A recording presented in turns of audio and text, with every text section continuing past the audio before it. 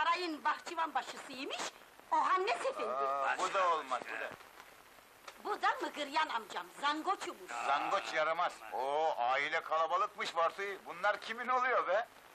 Ayıp ediyorsun Kazım Efendi, biz öküz müyüz neyiz? Yok canım, Şuna şaka yaptım be. be. Bırak şimdi zevzekliği.